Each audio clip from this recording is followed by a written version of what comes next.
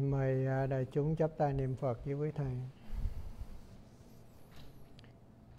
Nam mô à, Phật à, Bổn Sư Thích Ca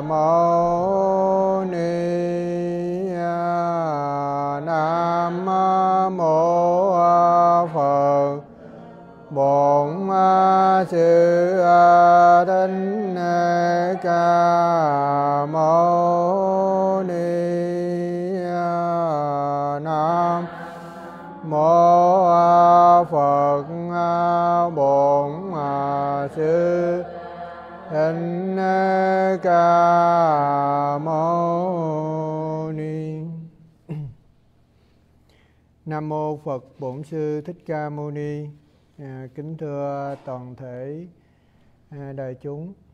À, Hôm nay à, là ngày à, 5 tháng 12 à, năm 2021 nhằm ngày à, 2 à, tháng 10 à, 1 năm ừ, Tân Sửu. Thì à, hôm nay à, là ngày à, sinh hoạt ừ, cuối tuần à, theo như thường lệ hôm rồi à, chúng ta à, ôn lại à, kinh pháp cú à, tế phẩm 26 đó là phẩm bà la môn. Ừ, chúng ta học tới à, câu à, 393 thì hôm nay à, chúng ta tiếp câu 394 thì à, trước khi qua câu 394 à, chúng ta ôm sơ lại à, câu 393 à, câu 393 à, nói về à,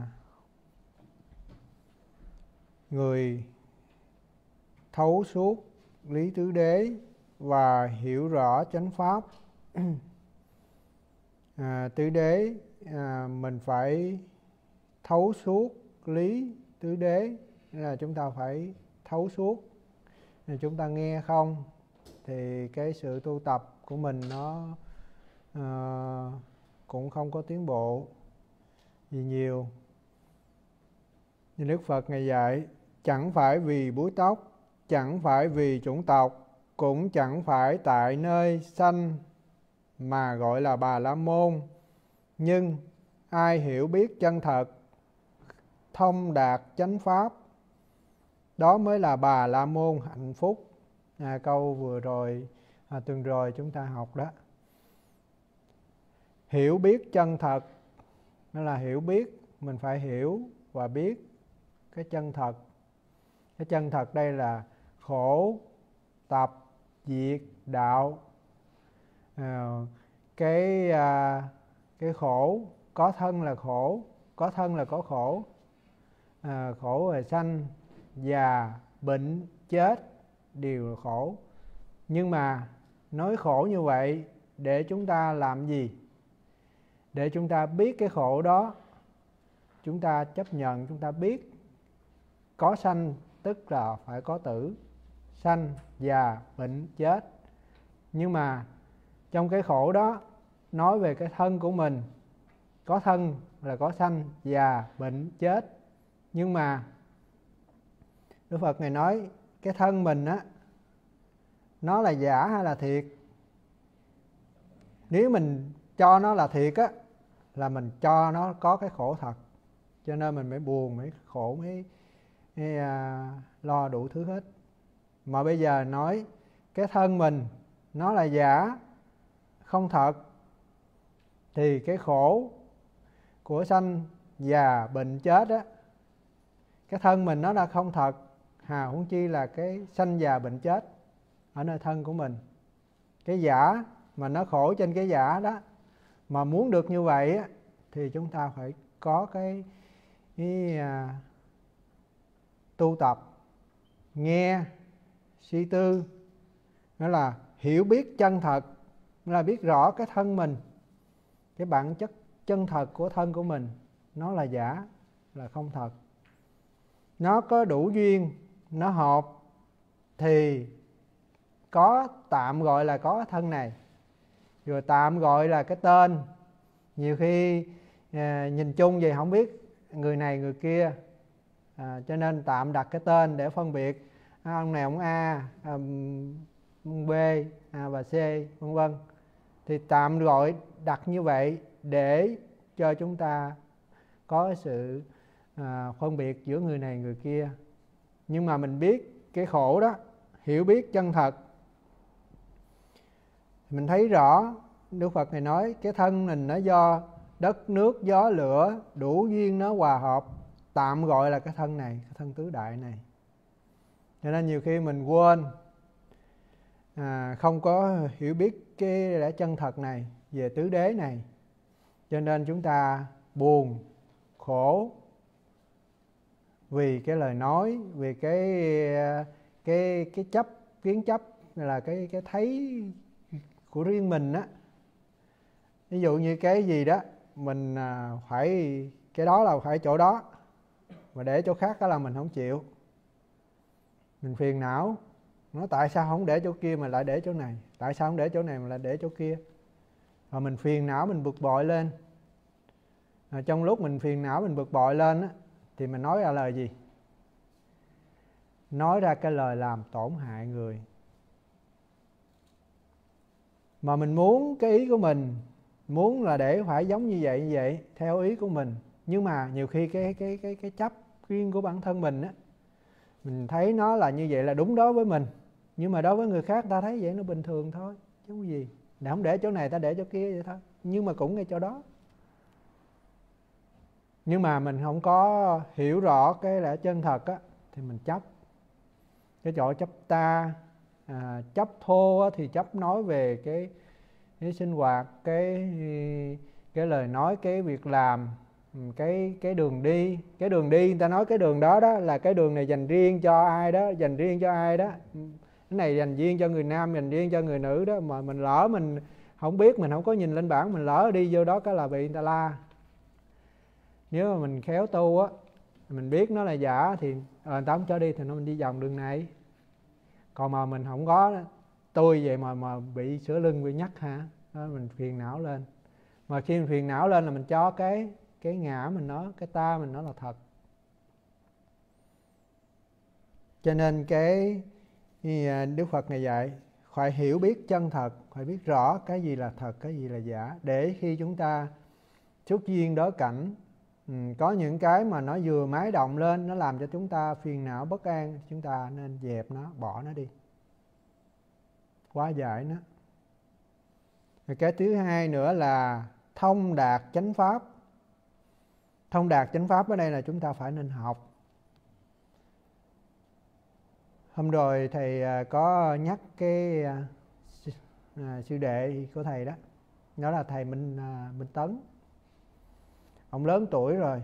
Ông cũng gia đình khá giả ở bên ờ, ở bên lách, bến tre đó. Nhưng mà ông tu hành rất là nghiêm túc, đàng hoàng. Ừ. khi ờ, đi vào ở nơi chùa, mỗi lần lại gặp ừ, sư phụ thầy là ông hay trả bài. Nó hôm nay con, mấy nay con không gặp thầy, nhưng mà ở nhà con vẫn hành trì thời khóa đều đặn. Và con thấy này, có này hay lắm nè. Tứ đế là ông kể danh sách, tứ đế là à, khổ tập triệt đạo như thế nào rồi 12 nhân duyên ông kể à, vô minh là gì ông kể à, cái cái ban đầu cái quan trọng nhất là cái vô minh đó thôi thầy đó. vô minh mà mình chặt mình khóa một dòng đó thì bao nhiêu những cái khác nó không có rồi cuốn theo rồi 37 phẩm trợ đạo ông kể danh sách hết à, đó. mà ông kể không phải là ông à, à, ông à, giống như là ép buộc mà trả bài. Mà cái này là ông tự nguyện ông nói ờ con này con thấy cái đó hay. Nói lời Phật rất là thâm thí rất là à, thiết thực rất là đúng. Con thấy áp dụng dụng vào đời sống hàng ngày thấy rất là hay. Mà ông lên ông nói gần cả một tiếng mấy hai tiếng nhưng mà ông không khi nào mà cảm thấy uh, là nói hết ra còn như là còn nữa đó. Nhưng mà mình thấy gì đó do thông đạt học thấy nó hay, nó quý rồi bắt đầu mới tìm tòi mới học. Học thuộc lòng. Và từ chỗ mình học thuộc lòng nó mới, cái khi mình ngồi yên một mình á, mình tư duy hay là mình có cái gì nó trở ngại trong trong cái tâm mình hay là nó bất an gì đó, thì tự nhiên cái mình nhớ tới cái câu kinh, cái cái cái lời dạy của Phật. Tứ đế nói về khổ khổ có tam khổ, bát khổ, vân vân đó rồi nói 12 nhân viên vô minh là cái ban đầu. Rồi hành thức danh sắc lục nhập vân vân đó. Rồi đạo 37 phẩm chờ đạo đó là ba mươi mấy con đường là chỉ cho con đường mình đi. Nhiều khi mình à, tối tâm mù mịt à, do mình vô minh phiền não do mình à, chìm đóng trong cái biển sanh tử luân hồi cho nên mình không có biết rõ con đường nào là là tránh con đường nào là tà. Nhiều khi mình chỉ đi cái cái cái thấy cái suy nghĩ của mình á cái cố chấp của mình á mà nó lệch đi rồi đó mà mình không có học á. Có nhiều vị có cái cái cái lạ gì nè nói học nhiều để làm gì? Học nhiều để uh, kiếm lời dưỡng này kia sao? Không phải là như vậy. Mình học phật pháp là để cho mình hóa giải mình biết cái con đường để mình tự cởi mở mình để tự mình đi đúng con đường không có lệch. Chứ nhiều khi nghĩ như vậy rồi cái gặp ai cũng nói ờ học nhiều để mà có lợi dưỡng như thế này thế kia để làm giảng sư hay làm này làm nọ nên không thèm học. Lo làm thôi. Mà hai cái à, hòa thượng uh, à, tổ sư à, thích thiền hoa ngài nói đó học á, mà không tu á, là cái đãi đường sách mà tu á, mà không học á, là tu mù. Mình không học mà mình lo tu á, nhiều khi tu sai. Thì mình nghĩ à, lên à, à, lên tu mà mình không có học không biết rõ cái cái phương pháp thực tập như là ngồi thiền đi chăng nữa nó rất là đơn giản nhưng mà có thầy hướng dẫn chỉ dạy đàng hoàng ừ, mà mình không chịu học. Mình cứ thấy người ta ngồi thiền mình cũng lên mình xách bồ đòn tô cụ lên mình ngồi. Nhưng mà ngồi thời gian mình ngủ gục hay là mình đau lưng hay là nhức hay là mình thấy cái gì đó cái tự nhiên cái mình hoảng sợ. Tại vì mình không có học ngay từ đầu.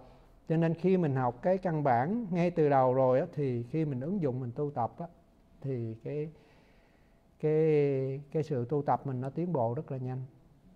Và khi mình tu là mình an lạc, an ổn. Tại vì mình thấy cái cái à, cái cái học mình nó đã đúng rồi, nó hay rồi. Nó đúng cái cái lời dạy của Phật rồi. Sau khi mình học xong rồi mình tư duy, có là, Phật dạy thường có ba.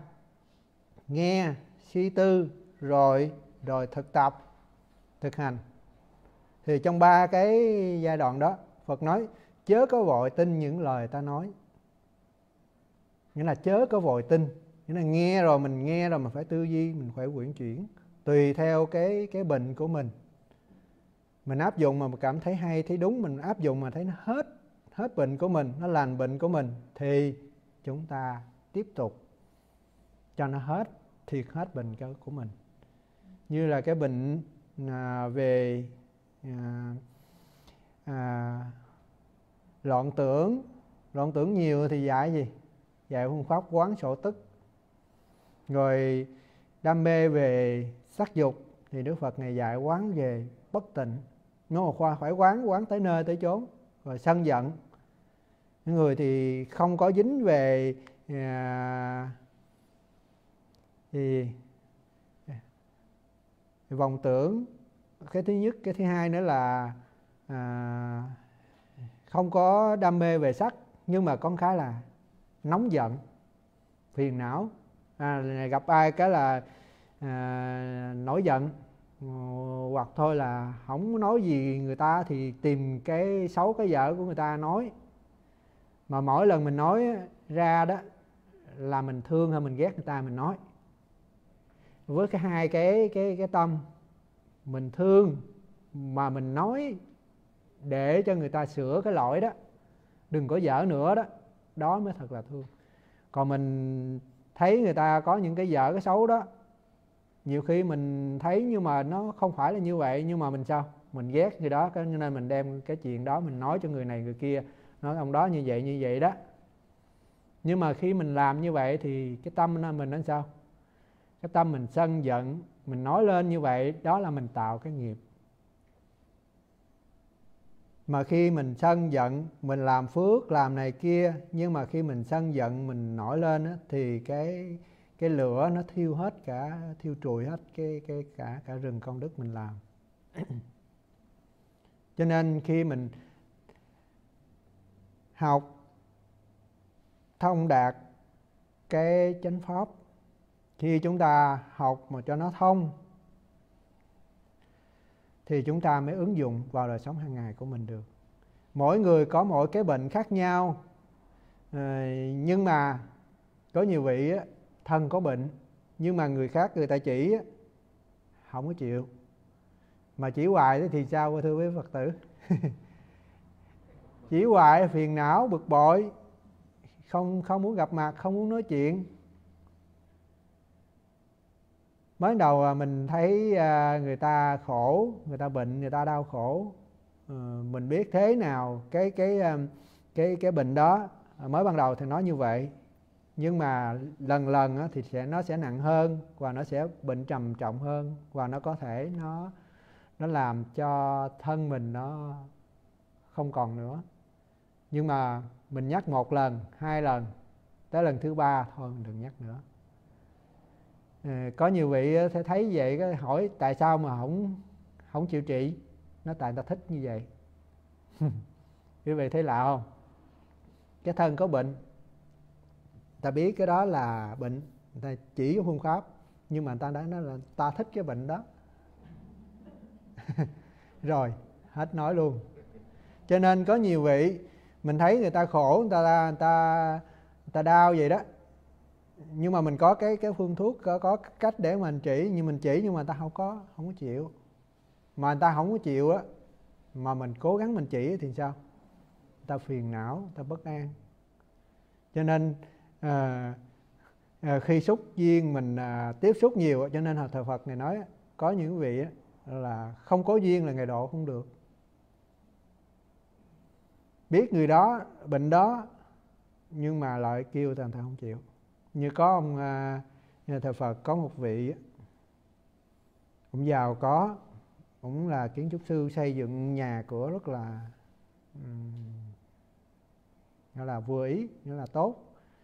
Ông giàu nữa cho nên ông à, thiết kế à, cái phòng cái cái nhà nào là nhà chỗ đó để à, sinh hoạt chung à, cả gia đình hội họp về kia là về đó. Rồi phòng ốc cho con như thế nào phòng ốc cho cha à, cháu ờ, ờ, rồi, rồi, à, nhà à, để mà sinh hoạt nhà thể thao nhà mùa đông như là nhà bốn mùa đều có hết có đầy đủ hết.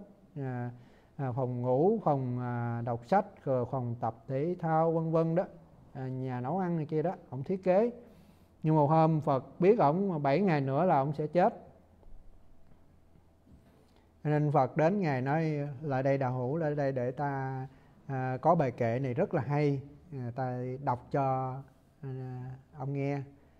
Nhưng mà ông nói khoan hả cô đâu để tôi làm xong cái này đi rồi à, và bữa tôi đến tôi nghe ông họ ông, ông ấy giảng.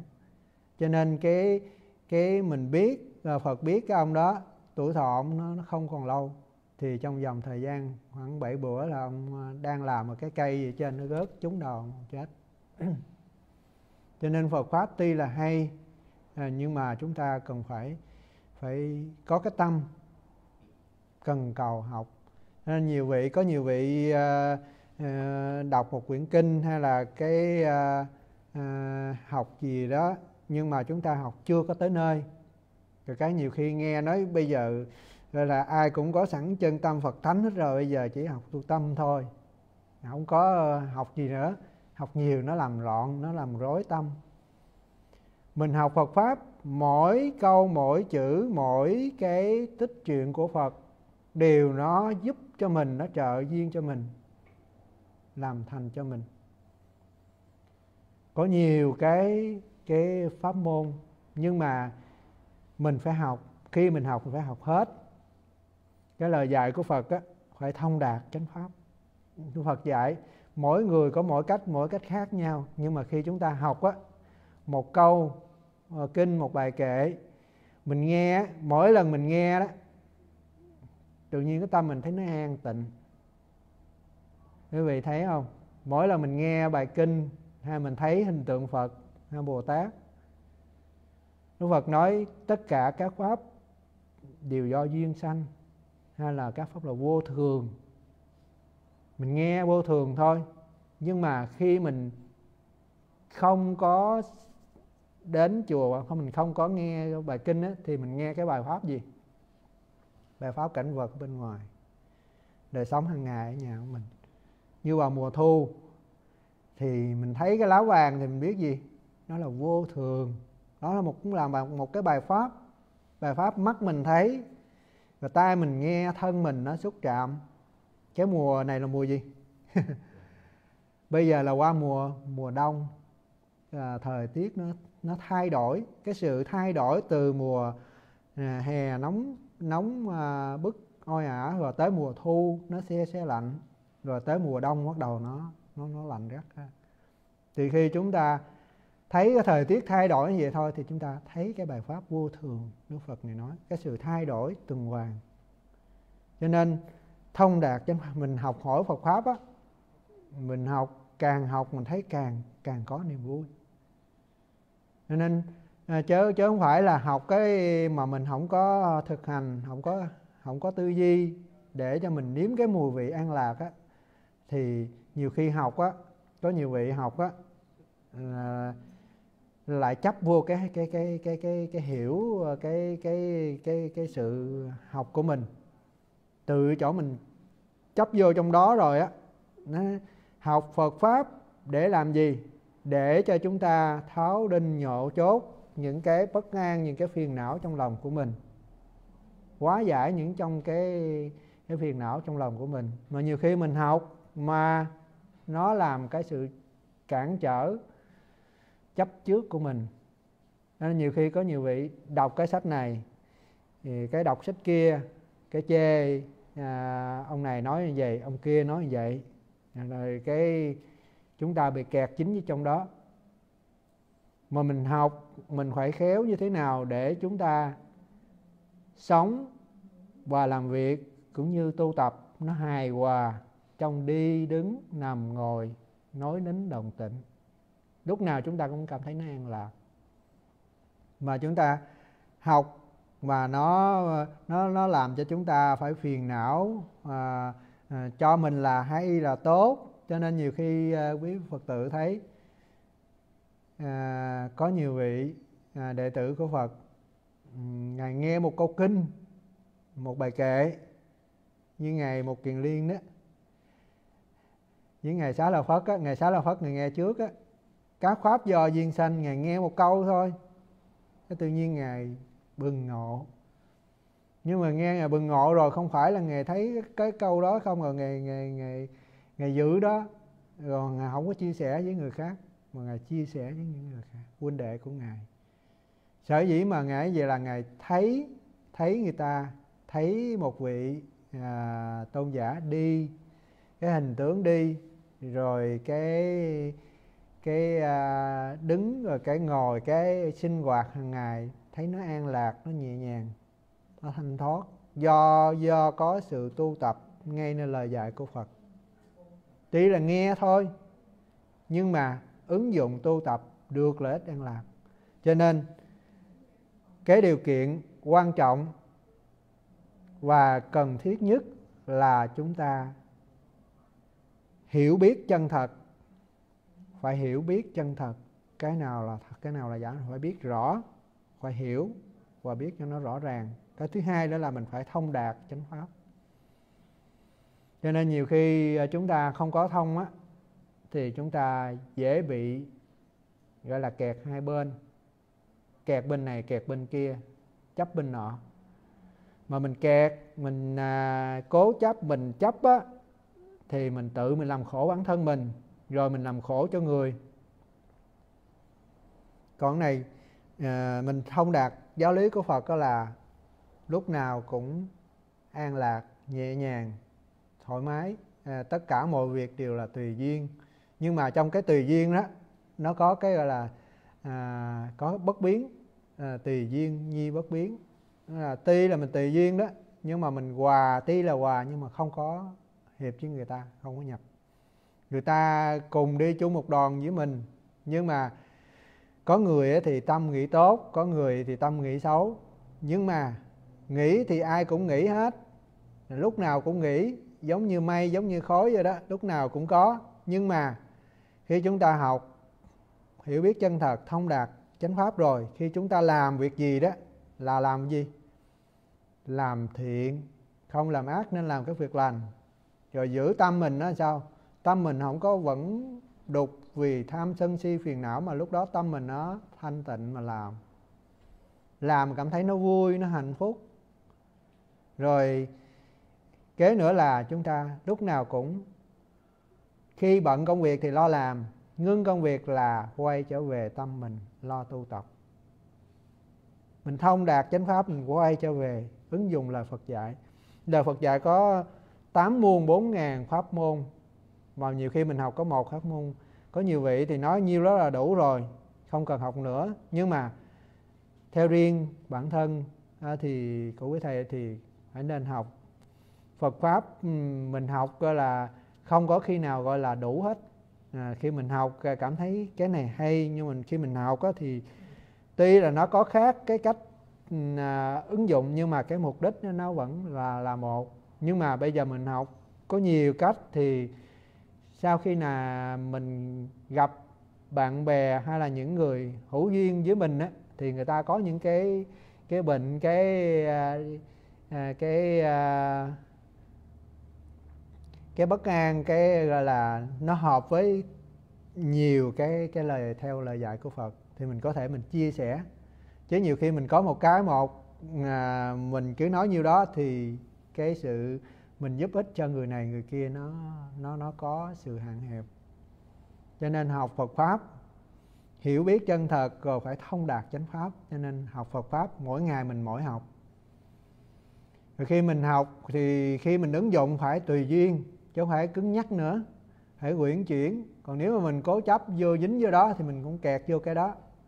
Cho nên phải khéo quyển chuyển và à, tùy duyên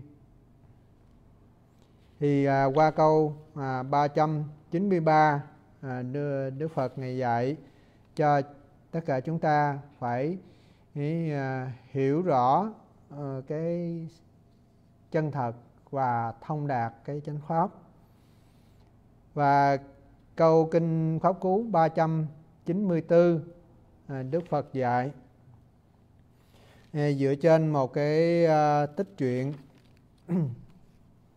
người Bà La Môn gian xảo à, khi Đức Phật ngài ở tại à, Pagoda hầu có một vị Bà La Môn à, gian xảo à, treo ngược. Thì à, khi ở thành Tỳ Xá Ly có một vị Bà La Môn vì ham cầu lợi dưỡng. cho nên à, ông mới đi đến à, cái vừa gần tới cổng thành á. thường thường ở bên ấn độ có à, cái thành trong à, thành phố hay là trong làng trong xã thì, thì khi mà muốn vô trong đó thì phải có qua cái cổng. Giống như mình vào cái cái ngôi chùa trước khi vào chùa phải vô vô cái cổng. Thì ở gần cổng đó thì có cây sồi cây sồi to. Nó có những nhánh nó, nó mọc ra bên ngoài thì ông bà la môn này ông mới nghĩ là mình cần phải à, cần cái đó cái, gọi là tiền vàng rồi à, đồ ăn thức uống rồi một cái cô đầy tớ này kia đó để phục vụ cho mình. Nên ông mới nghĩ ra cái cách là ông treo treo ngược ông. Ông mắc hai cái chân lên cái cành cây đó rồi ông thòng hai đầu xuống ông la lên. Ừ, tôi cần cái đó đó đó mọi người hãy uh, cho tôi à, vàng tiền ăn uống này kia đó đồ ăn này kia đó. Nếu mà không cho tôi á thì tôi chết tôi thành quỷ tôi quậy khóa cái thành này. Mà ông la lớn vậy đó giữa người ta đi đông rồi đó. Ông là cứ à, treo vậy đó từ sáng cho tới chiều. Thì những người dân mà ta ở đó thì người ta làm ăn thì ta muốn nếu mà ông này mà ông có chết á ông thành thần thành quỷ ông quậy khóa thành sao chịu nổi cho nên thấy vậy cho nên mấy người ta cũng nhẹ dạ cho nên ta cũng đem đồ người ta để ra cho ông chỗ đó. Cái tới chiều cái ông thấy người ta đem rồi đây, cái ông bỏ chân ra ông đi xuống ông lấy ông chài. Thì à, ông cứ làm như vậy thì tới một hôm thì à, tới gần tinh xá của Phật ông cũng làm vậy đó. Các vị tỳ kheo cũng nghe. Rồi à, ông cũng la cũng hét như vậy rồi cái các vị tỳ kheo mới lên trình với Phật. Thì khi à, Đức Phật ngài nói à, có một nhà ẩn tu đó ông à, ông ông làm như vậy đó. Rồi các các vị tỳ kheo mới trình thưa với Phật. Thì uh, khi mà trình lên với Phật Đức Phật ngài nói không phải lần đầu ông ấy gian xảo như vậy mà là quá khứ ông ông ta cũng đã từng làm như vậy rồi thì Đức Phật ngài mới à, à, nhân đó Đức Phật ngài mới à, kể lại cái chuyện quá khứ của à, ông à, Bà La Môn này dân ông Bà La Môn dân xảo này cho các vị tỳ kheo nghe. Nói à, chuyện quá khứ kể về nhà ẩn tu giả dối và con kỳ đà chúa. Nói về nhà ẩn tu thì à, ngày xưa có một à, gọi là vị ẩn tu à, sống ở tại một cái ngôi làng à, của người à, làm nghề nông. Thì một hôm ừ, à, cái vị ẩn tu này đang ngồi tu thì à, ngài ngồi tu gần gần bên một cái cái đồi cái đồi đất. Trong cái đồi đất đó có một cái con kỳ đà kỳ đà chúa nó thấy vị này tu nó rất là kính trọng mà nể phục ngài. Cho nên à, thỉnh thoảng nó hay bò ra nó nằm kế bên ngài. Để mà nó chiêm ngưỡng cũng như nó à, học cái hành của ngài. Thì à, một hôm mà các vị à, nông dân ở đó à, ở nhà có làm à, thịt một con kỳ đà nướng rất là thơm phức và cái dành một phần đem lại để mà cúng dường cho vị ẩn tu này. Khi ông ngồi đó thì khi mà người ta bưng cái đồ ăn tới thì ông nghe cái mùi nó cái mùi gì mà thơm như vậy? Cái à, vị mà ờ, ủng hộ thức ăn đó mới nói à, con ở nhà hôm nay con bắt được con kỳ đà à, con nướng đó, đó là thịt kỳ đà. Rồi ông nhà cái người ẩn tu này nè, cho nên mới nghĩ tới con kỳ đà mà thường ngày nó bò lại, nó nghe nó gần kế bên mình đây. Mình cũng cho nó ăn bơ, ăn dầu này kia chút ờ, ăn dư đó, đồ ăn thường thường ăn còn hay dương chút á, hay chừa lại gì đó. Cái là nó nó nó nghe với nó.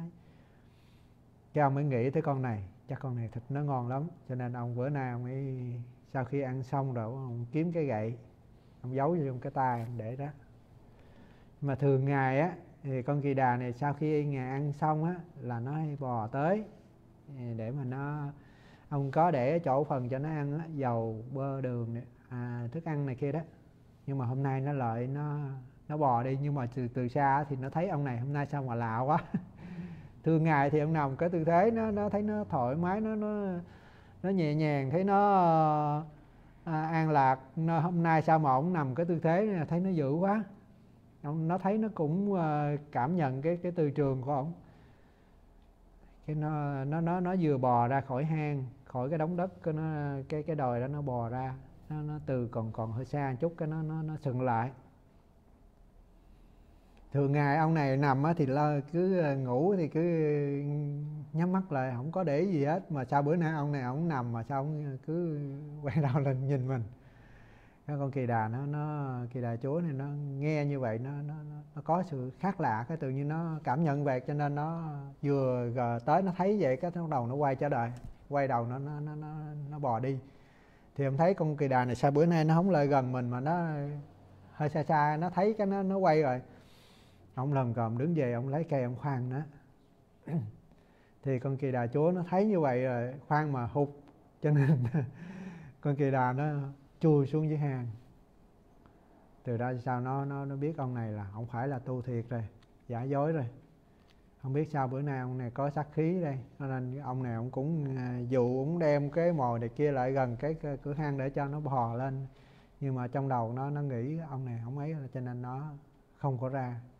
À, Đức Phật ngày mới à, kết thúc là cái cái cái nói cái à, dục vọng á, trong lòng của mình vì một miếng ăn đó thôi nhưng mà nó không có làm chủ cái cái sự tu tập của mình.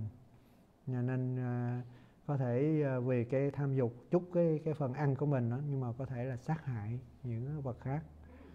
Đức Phật ngài nói nhà ăn tu á, đó là bà la môn hiện nay còn con kỳ đà khi xưa đó đó là chính là ta đó.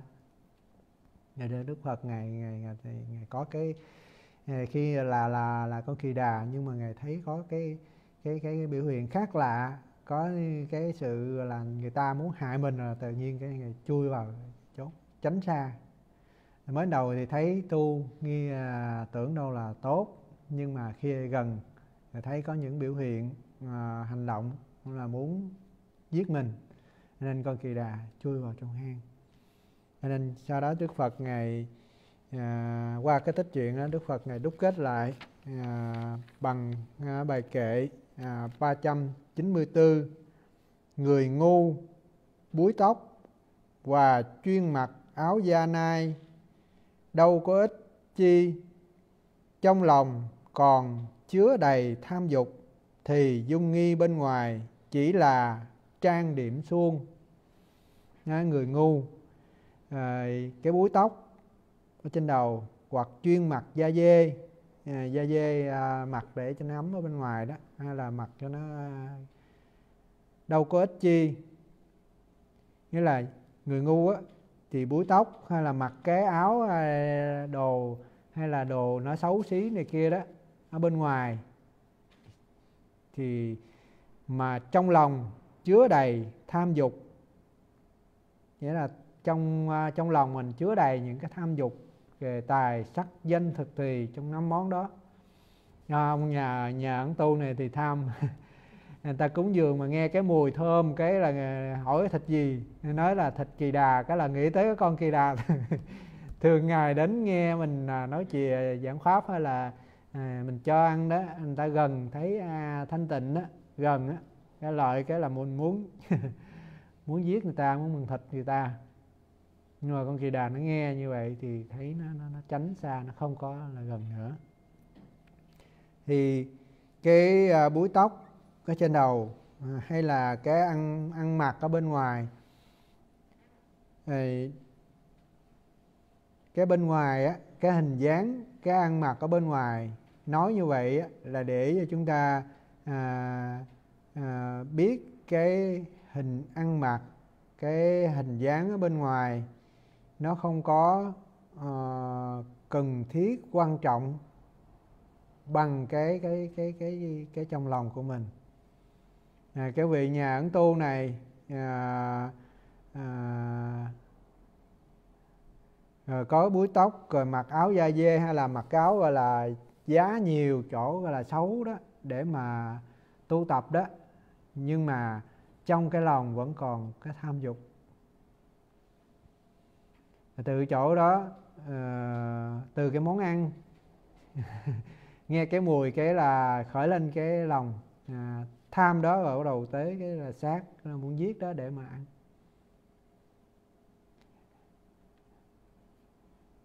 Rồi tuy là ở ờ, bên ngoài như vậy hình dáng mà mình trang chăm sóc ờ, bên ngoài mà trong tâm vậy là chỉ là trang điểm suông thôi. Cho nên ờ, những người bà la môn đi đâu thì hay mặc áo da nai rồi búi tóc, cho đó là hãnh diện lắm. Thường thường các vị bà la môn thì ờ, ngày để cái búi tóc rồi mặc áo da nai ừ, cho đó là cái cái À, sự à, là hãnh diện của mình. Ta cho dòng bà la môn cao hơn thiên hạ. Như vậy không có ích gì đối với đức phật trừ diệt được lòng tham dục mới có ích lợi. Nghĩa là không phải là vì à, mặc áo và nhiều cái à, giống như khổ hạnh đó rồi bạn thôi là cột búa tóc nhưng mà cái quan trọng nhất là là trừ diệt được lòng tham dục. Chỉ còn trang điểm dung nghi bên ngoài chỉ là việc suông thôi. Cũng vậy, không phải cạo đầu, mặc áo nhuộm gọi là thầy tu. Nếu trong lòng còn tham sân si, thì cái đầu và chiếc áo không làm nên thầy tu. Cho nên Ờ, khi mà nhiều khi mình ờ, thấy ờ, cạo đầu có nhiều vị cũng cạo đầu cũng mặc áo tu nhưng mà phiền não tham rồi sân si phiền não nó vẫn còn đầy. Rồi nói mình là thầy tu. À, à, có nhiều vị thì như vậy. Thì đức phật người nói à, không phải là chiếc áo làm nên thầy tu cho nên có nhiều vị cũng thấy đệ tử của phật ngày gọi là bà la môn gọi là tỳ kheo rồi cũng cạo tóc rồi cũng quấn y giống như vậy. Rồi đến nói đức phật hãy gọi ờ, cho ông kêu ông tên là gọi ông tỳ kheo gọi là phật đi. Nhưng mà thưa quý vị thưa quý phật tử à, vị mà xuất gia nghiêm túc đàng hoàng thì à, cạo tóc rồi được thầy à, truyền tam quy ngũ giới rồi thọ năm giới rồi mười giới hai trăm năm mươi giới rồi học quay nghi à, 24 gọi là quay nghi tế hạnh đi đứng nằm ngồi được thầy chỉ dạy nhắc nhở. Thì cái cạo tóc mặc áo đi đứng nằm ngồi nói năng nó trong cái quay nghi của người xuất gia tu tập. Còn người mà không có tu á mà cũng cạo tóc cũng uh, mua áo uh, mặt nhưng mà cái tướng đi á mà không có sự tu tập á thì đi thấy sao? Thì đi thì nhìn vô là thấy biết các vị này nhất là các vị mà mới xuất gia đó. Với phật tử để thấy á, thì cái tướng đi cái lời nói cái việc làm á, lên lên bàn ăn thì sao? Ngày xưa ở ngoài thì ăn thoải mái muốn làm gì làm nhưng mà giờ vào trong chùa thì quý thầy dạy phải ăn như thế nào? Múc chén cơm ở ngoài khi mình còn ở ngoài thì mình múc múc sao mình múc không? Nhưng mà vô đây mình múc tư dung là bị quý thầy la quý thầy nhắc. Phải múc nó vừa thôi. Rồi ăn hết rồi mình gấp nữa. Rồi, còn nhiều khi ở ngoài á tuy là cái ấy nhưng mà khi mà ăn thì sao? Cái lòng tham á khi mình ăn lòng tham mình á thì sao? Muốn gom là hết cho mình. Cho nên nhìn cái là tuy là cái cái hình thức thôi nhưng mà phải có sự tu tập mọi cái cái con à, cái cái nồi, cái ăn thôi. Thì khi với thầy, phật tử thấy với thầy thường thường với thầy múc chén cơm với thầy múc làm sao? Múc nó vừa, nó nó gần đầy thôi. Hỏi nhiều vị không không à, nhất là mới hay là gì đó, nhìn vô là mình biết à. Còn thôi có những vị không tu á, mà cạo tóc ấy, thì sao? Lúc đó là bới là bới đầy lên, rồi gấp đồ ăn thì sao? Gấp, thường thường ta gấp vào tới ấy thôi. Còn này sao? Mọi thứ món để vô. Cho nó dung lên. Cái đó là cũng biểu hiện lên cái sự lòng tham của mình trong khi ăn. Cho nên cái à, mặc áo và cạo đầu nó không làm nên thầy tu mà phải phải dứt bỏ tham sân si trong lòng của mình. Cho nên những vị đệ tử của Phật khi xưa à, lập gia đình à, sống đời sống tại gia ở ngoài nhưng mà ta tu tập, ta cũng vẫn chứng được quả. Rồi ờ, Đức Phật này nói, đệ tử của Phật mà cư sĩ tại gia ở nhà ờ, thì ờ, chỉ tiết chế điều độ thôi. Còn sinh hoạt gia đình thì vẫn bình thường, nhưng mà có cái thời gian tu tập thì vẫn đạt được những cái quả vị, cũng cũng cũng tu, cũng tiến bộ. Cho nên, người thật tâm tu hành là phải đoạn trừ những xấu xa ô nhiễm. Những cái xấu xa ô nhiễm ở trong lòng của mình, nếu mà người thật sự tu hành. Thì tu hành ở đây nếu mà mình à, không có ờ, điều kiện à, không có mạnh mẽ à, cắt ái ly gia nghĩa là từ bỏ gia đình cạo tóc, xuất gia vào trong chùa, thì chúng ta ở nhà chúng ta cũng tu tập được chúng ta cũng phải đoạn trừ những cái xấu xa ô nhiễm trong trong trong trong lòng của mình. Cái xấu xa ô nhiễm á, hay là không ô nhiễm á, thì cũng ngay trong tâm của mình. Mình muốn hay không thôi. Cái gì cũng vậy. Cái đó là đức phật này nói, nó là dở, nó là xấu đó, nó là ác đó, không làm việc ác đó. Các quý vị phật tử nghe cái bài kệ mà đó giờ thầy, quý thầy nhắc, thường hay nhắc đó, mà bảy đời chư phật thường nhắc đó, không làm các việc ác nên làm các việc lành, giữ tâm ý trong sạch, đó là lời chư phật dạy. Mình không làm việc ác, tự nhiên cái mình vừa nghĩ lên, cái tâm mình vừa nghĩ lên, cái đó mình muốn nói, muốn làm thôi. Nhiều khi mình vừa nghĩ, chưa kịp nghĩ là cái miệng mình nó đã nói ra rồi, do cái cái ác mình nó quân tập nhiều rồi. Cho nên mỗi lần mình khởi lên cái là nó, cái miệng nó nói ra liền, nhiều khi kìm là không không không không không được. Nhưng mà lời Phật dạy nói là nhân vô thập toàn người nào cũng có lỗi hết. Cho nên mình vừa phát lên cái lời nói mình biết nó là sai nó là dở rồi thì sao? Thì cũng cái lưỡi cũng cái miệng mình nói là mình sorry ờ mình à, lỡ lời thôi cho mình xin lỗi. À, sorry bên này là sorry đó. Thì người ta quan hỷ ta sẽ tha lỗi cho mình. Rồi nuôi dưỡng những điều tốt đẹp. Mình từ bỏ những cái dở cái xấu trong lòng của mình rồi mình sao nữa? Bỏ đó không á, thì nó chỉ được lợi ích một một phần nữa thôi. Nhưng mà cái thứ hai nữa là cho nó trọn vẹn luôn. Một luôn á là nuôi dưỡng điều tốt đẹp. Nuôi dưỡng những cái điều tốt đẹp. Mình á, thì có cái cái dở cũng có cái xấu cũng có à, cái tốt cũng có cái dở cũng có cái tốt cũng có. Nhưng mà bây giờ khi chúng ta tu tập tại gia cũng như xuất gia thì khi chúng ta tu tập thì chúng ta đoạn trừ những cái xấu dở trong lòng của mình. Rồi mình nuôi dưỡng những cái cái điều tốt đẹp ở trong lòng của mình. Mình nuôi dưỡng bằng cách gì? Mình nghe pháp, mình tụng kinh, mình ứng dụng, mình thực tập mà theo cái lời dạy của phật.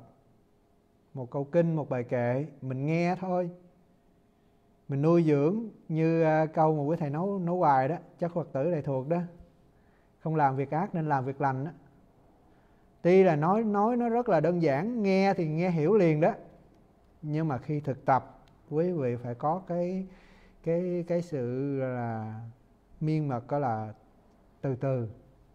Từ những cái nhỏ cái nhỏ nhiệm mình thấy, mới ban đầu cái thô những cái thô rồi những cái mà nó cái nhỏ nhỏ. Như như như là cái lời nói ờ, mình nói với người. Nói đầu mình nói chỉ nói thôi nhưng mà thấy người ta buồn người ta bất an cái là mình mình cũng cảm nhận mình biết. Nhưng mà khi mình biết rồi thì mình phải sao? Phải chuyển lại sorry xin lỗi à, mình lỡ lời. Đó là mình nuôi dưỡng cái điều tốt. Mình thấy cái đó là xấu là dở rồi là ác rồi. Ở trong lòng của mình rồi phải dừng, ngưng lại, đừng có làm. Mà khi mình dừng, mình ngưng lại á, thì mình sẽ nuôi dưỡng cái, kế nữa là mình nuôi dưỡng những điều tốt đẹp. Bây giờ đáng lẽ mình nói ra cái lời đó, làm cho người ta phải buồn, phải khổ. Có những cái lời nói mà mình có thể mình làm cho người ta đau khổ ngày này tháng nọ, năm kia. Có thể người ta ờ, nghe cái lời nói mình, ta có thể là người ta từ bỏ cái thân này nữa. Khi xưa sư phụ thầy có kể có một đi đi gọi là sư bà đó. Khi mà còn trẻ đó cái người chị à, quen với người, người bạn trai đó rồi sau đó có có có gọi là có có bầu ừ, có em bé. Thì người chị mới tâm sự với người em nó chị à, lỡ có như vậy rồi không biết giờ không biết làm sao cái người em ấy nói, em mà như chị hả, em đi tự tử cho rồi, sống chi cho nhục nhã. Cái người chị nghe người em nói như vậy buồn quá, cái tự tử. Cái người em nghe nói như vậy thì thấy người chị như vậy thì mới hối hận. Rồi sau này cái đi tu. Mà lâu lâu nằm mơ cũng thấy chị dẫn dẫn con về thăm nhưng mà tu lớn lên làm sư bà tu cũng cũng cũng khá giỏi đó. Cho nên cái lời nói của mình, nhiều khi mình không có suy nghĩ, nhiều khi lúc đó mình nói gì mình bực bội, mình tức đó, mình nói ra. Nhưng mà cho nên mình không có thường nuôi dưỡng những cái điều tốt ở trong lòng của mình. Mình hay nuôi dưỡng những cái điều xấu ờ, dở trong lòng của mình. Cho nên mình lỡ mình nói. Nhưng mà sư bà đó lỡ lời nói với chị mình như vậy cho nên hối hận rồi xuất gia ra tu. Tu cũng à, là một vị tu hành giữ gìn giới giới luật nghiêm túc đó. Ừ, sư bà là sư bà hải triều âm đó. À, với phật tử. Có thể mình nghe.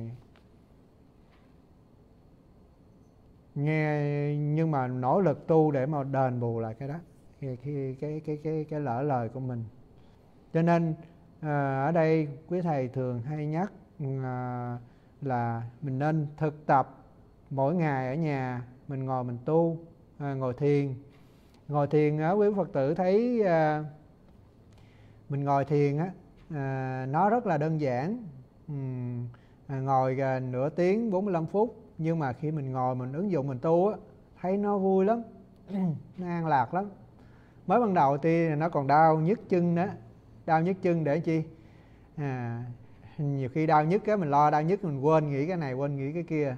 Lúc đó nó cũng à, an lạc nó cũng bớt đi cái kia một chút. Nhưng mà đau á đau nó không có chết đâu. Đau một chút thì nó hết à. Nhưng mà cái mà mình không có ngồi tu mình sợ đau sợ nhức á mà mình không có chịu tu á thì khi mình xuất duyên đối cảnh á những cái lời nói gọi là cái tâm mình nó xấu ác á à, những cái ờ, cái ờ, cái xấu xấu dở cái là cái tâm mình ô nhiễm á tâm mình nó ác đó mà mình nói ra cái lời đó thì làm cho người ta bị sẽ bị tổn thương. Cho nên mình phải khéo tu tâm dưỡng tánh lại để cho cái lời cái ý nghĩ của mình và cái lời nói của mình à, để làm bớt tổn thương à, cho người. Mà bây giờ mình lỡ lỡ nói rồi lỡ đi rồi thì giờ chúng ta phải sao? Giống như sư bà đó. À, quay là chuyển là lo lo tu tập lo sửa đổi. Bây giờ mình không có nói những cái lời đó nữa. Ngoại giờ nói cái gì? Nói lời Phật pháp nói lời gọi là những cái điều tốt để khuyên người. À, trước nhất là khuyên ngay nơi bản thân của mình. Có nhiều vị hỏi à, mình tự mình làm tổn thương mình có tội không? Quý vị thấy có tội không? Nó thân của mình mà mình làm tổn thương, mình hại nó, có tội không? Cũng có. Mình tự mình làm tổn thương mình mình tự giết bản thân mình cũng là cái cái cái tội.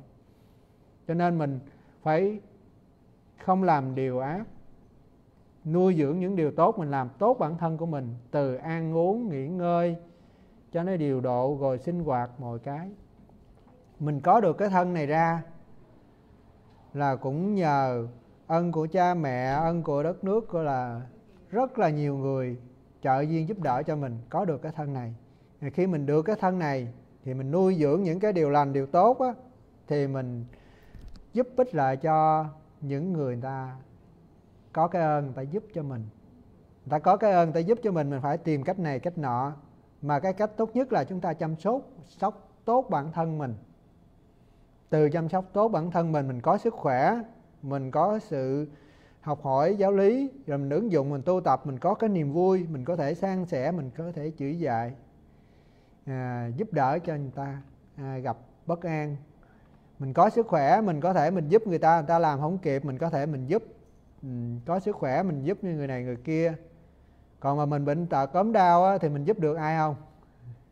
Không được. Rồi người ta khổ mình có giúp được gì không?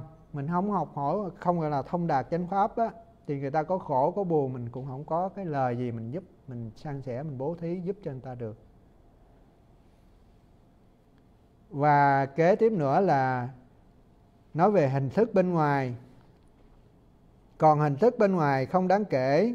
Nếu nhìn hình thức bên ngoài, cho là người tu thật coi coi chừng lầm. Biết đâu có kẻ trá hình thì sao? Nó cũng nhắc. Cho nên nhiều khi mình thấy người đó cái hình thức bên ngoài à, cho nên đức phật ngày dạy thì à, rất là kỹ là nghe suy tư thực hành. Nghe hay là mình thấy. Nghe là chỉ mình nghe âm thanh thôi. Thấy mắt mình thấy mình phải tư duy. Có những cái à, có những loại trái cây á Ừ, có ờ, có những loại trái cây quý vị thấy mình à, để để mình thấy á có những cái trái cây á bên ngoài mình thấy nó là sống nhưng mà nó trong là chín. Có những cái loại trái cây á bên ngoài mình thấy nó là chín nhưng mà nhìn bên trong là nó là sống. Còn những cái loại trái cây á nó vừa sống mình thấy nó là à, cho nên à, có những trái cây như trái cây đu đủ á, có loại trái cây nó cái cái màu vàng nó vàng tươi luôn vậy đó nhưng mà nó nó nó là còn sống. có những cái cái loại trái cây như vậy. Cho nên nhiều khi nhìn ở hình thức của bên ngoài à, nó chưa hẳn là như vậy. Cho nên phải nhìn thấy nghe phải có sự tư duy học.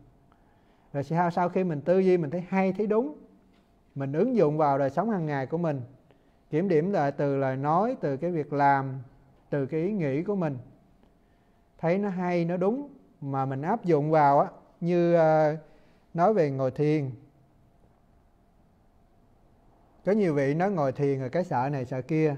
Nhưng mà khi mà mình học có thầy có chỉ cho mình phương pháp um, thực tập đàng hoàng á thì ngồi cảm thấy nó an lạc thấy nó nhẹ nhàng. Có nhiều vị uh, tâm sự với thầy nói bây giờ thấy uh, nghe quý thầy uh, chỉ cho cái phương pháp ngồi thiền à, lúc ờ, trước nghe quý thầy nói cái sự mà à, tu tập mà nó được an lạc á à, cái vui của ngũ dục á cái vui mà của à, à, cái sự à, sinh hoạt gia đình gọi là ngũ dục ở thế gian ở bên ngoài á so với cái vui mà sự tu tập á thì nó cái cái vui của ngũ dục nó giống có một phần. Cái vui của sự tu tập á nó giống gấp 10 gấp trăm lần những thứ này. Khi mà người ta có cái sự ý thức tu tập á, thì ở nhà à, mọi công việc làm thì làm cho nó vuông tròn nó tốt. Rồi cái ngoài công việc đó làm ngưng rồi đó thì thời gian rảnh là ngồi ngồi tu. Nói khi ngồi thì thấy cơ thể nó khỏe à, da dẻ nó hồng hào à, cơ thể nó gọi là à, cái không có thể nào diễn tả nổi cái cái niềm vui khi mình mình tu tập còn cái vui của ngũ dục á, thì vui sao? Vui trong chốc lát rồi mệt rồi khổ rồi lo đủ thứ chuyện hết. Vậy mà nhiều khi có nhiều nhiều vị cũng à, à, không có hiểu rõ à, mê chút này mà bỏ bỏ cái kia. Cho nên khéo mình à, học ôn lại lời Phật dạy à, cái hình thức ở bên ngoài thì nó là chỉ cái chợ thôi. Nhưng mà cái quan trọng mà cái cần thiết nhất là cái cái sự tu tập ở bên trong. À, chúng ta phải bỏ bớt đi cái tham dục ở bên trong của mình. À, tham dục mình càng nhiều là đa dục vi khổ á, sanh tử vì lao ừ, tùng tham dục khởi. Đó là tham dục gọi là tham muốn nhiều là khổ khổ nhiều.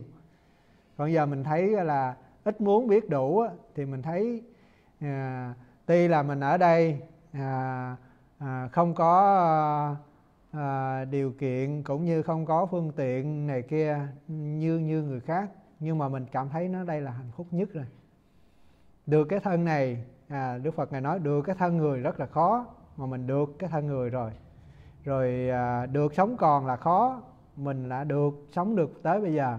Có nhiều vị thì ừ, không được sống như mình. Ờ, bây giờ ta phải phải sống từng giờ từng phút à, từng cái nhịp đập của quả tim nữa. À, nhất là các vị làm trong à, à, bệnh viện đó. Thấy cái mạng sống nó nó nó nó mong manh lắm nó nó nhanh lắm. Có nhiều người mới vừa vô nghe tít tít tít họ cái nó đi thẳng vậy là rồi xong. Còn giờ mình còn ngồi ngay nơi đây mình cảm thấy rất là ừ, rồi được nghe chánh pháp là khó có nhiều người ta không có thích nghe. Nghe cái người ta thấy nó sao đó không muốn nghe. Người ta nghe nhạc nghe này kia đó nghe à, hoặc thôi người ta chửi ta nói những cái lời ác ta giết chóc nhau thì ta thích nhưng mà ta không thích nghe nghe pháp nên nghe nghe nghe nghe chánh pháp là khó. Rồi gặp phật ra đời là khó mình không uh, uh, sanh hồi cùng thờ phật nhưng mà mình sanh thời này mà mình gặp được hình tượng của phật rồi nghe thấy hình dáng của chư tăng rồi nghe nhắc lại lời phật dạy đó là một cái phước báo của mình rất là lớn. Mà khi mình nghe mà muốn cái phước báo của mình nó được tròn vẹn được tốt và à, được lợi ích đó, thì chúng ta suy tư rồi ứng dụng thực hành cái hình thức bên ngoài. À, nói nó nói cái hình thức bên ngoài à, không quan trọng bằng cái cái sự tu tập ở trong nội tâm của mình.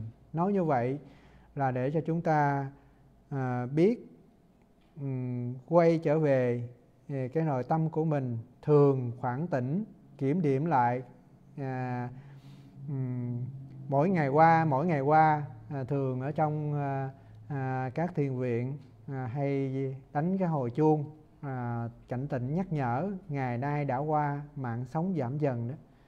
Dư cán cái cạn nước đó, nó nói cái đọc cái lên cái bài kệ đó một ngày đã qua rồi nhắc cho mình. Cái sự vô thường nó mau chóng lắm cho nên phải cố gắng nỗ lực tinh tấn tu tập học hỏi Phật pháp ứng dụng tu tập mỗi ngày. Mình sống sao để cho mỗi ngày qua mỗi ngày qua mình sống nó có ích lợi? Nó có cái sự niềm vui trong sự tu tập. Tuy mình cũng đi làm à, mọi công việc ở bên ngoài mà nếu mình có sự tu tập á, thì mình vui với những công việc mình đang làm. Để mình hạnh phúc vì mình còn sức khỏe mình cống hiến cho cho đất nước mình cống hiến cho cho mọi người mình cống hiến cho à, gia đình mình cống hiến cho bản thân của mình. Mình làm cái thân mình nó có cái sự lợi ích giúp ích cho tất cả mọi người. Cho nên à, khi mình ra đi có nhiều người ta tiếc nuối ta nhớ tới mình. Người đó ta sống có ờ, cái cái lợi ích có cái cái cái ờ, sự tu tập là mẫu mực. Như cái ờ, cái thầy là Minh Tấn đó thầy tuy là lớn tuổi mấy xuất gia có gia đình con cháu làm ăn cũng khá giả đó. Nhưng mà thầy rất là cung kính đối với bậc ân sư của mình và chẳng những thầy cung kính như vậy mà thầy dạy cho con cháu rồi à, những người bà con ở bên à, xu gia này kia đó ngày về ngày cũng chỉ dạy ngày nhắc rồi lâu lâu ngày dẫn lên nhất là những ngày lễ ngày dỗ đó. Ngày ừ, thầy à, à, gửi tiền cho quý thầy cúng dường trai tăng rồi bắt đầu mời bà con này kia lên. Rồi sau khi lên đó là dẫn nguyên cái cái ờ, mười mấy hai chục người đó qua đánh lễ à, chào xá rồi đánh lễ rồi bắt đầu ngồi xuống bắt đầu ổng thưa hỏi về Phật pháp rồi chị kêu thầy chỉ sư phụ thầy chỉ dạy nhắc nhở nên là cho nên mình gặp được Phật pháp rồi thấy Phật pháp đó hay nó quý rồi bắt đầu mình ứng dụng thực tập thấy được lợi ích rồi bắt đầu mình mới kêu con cháu rồi giờ à, bà con này kia qua để mà à, cùng học hỏi cái cái lời hay cái đẹp của mình ừ. cho nên khi mình à, nghe à, lời dạy à, của Phật rồi mình tư duy mình thực tập thấy được lợi ích mà mình ứng dụng nữa thì cái sự lợi ích đó nó nó mang lại cái cái cái niềm an lạc đối với bản thân mình và tất cả mọi người. Người ta à, gần kế bên mình ta cũng thấy hay. Rồi khi mà người ta à, ở xa người ta nghe hoặc thôi ta nghe cái người mà ta nhớ nhớ hoài thì sao? Cái người đó là tấm gương tốt, tấm gương hay, nghe Phật pháp rồi vui, thích, thấy cái lời dạy của Phật rất là hay, rất là quý. Nên nghe nghe rồi xong rồi về ứng dụng thực tập thực tập thấy được lợi ích an lạc, bắt đầu chia sẻ với mọi người. Mà khi mình chia sẻ là vui hay buồn? Rất là vui, rất là hạnh phúc. Mỗi lần thấy lên nghe nghe tiếng ổng là chưa chưa tới à, chưa tới cửa là nghe nghe đứng ở ngoài kia là nghe tiếng rồi. Nói lớn mà mà nói nó, nó giọng như là quan hỷ mừng giống như là mừng mẹ đi chợ về vậy đó. À, khi mà đến gặp thầy sư phụ thầy là ông đầu là kể hết cái cái cái sự tu tập và cái sự học của mình từ câu đó đó đó, đó rồi kể cái sự tu tập của mình. Thì qua à, buổi à, chia sẻ Phật pháp um, ôn lại lời Phật dạy kinh à, pháp cú à, thứ 394 à, mong rằng à, toàn thể đại chúng à, à, khéo ứng dụng để à, được lợi ích à, ngay nơi hiện tại và mai sau. À, nam mô Phật Bổn sư Thích Ca Mâu Ni. À, thỉnh quý Phật tử chắp tay hồi hướng với quý thầy. Chúng à, sanh à, vô biên thể nguyện à, độ à, phiền à, não vô tận. Thể nguyện đoạn pháp môn vô lượng. Thể nguyện học Phật đạo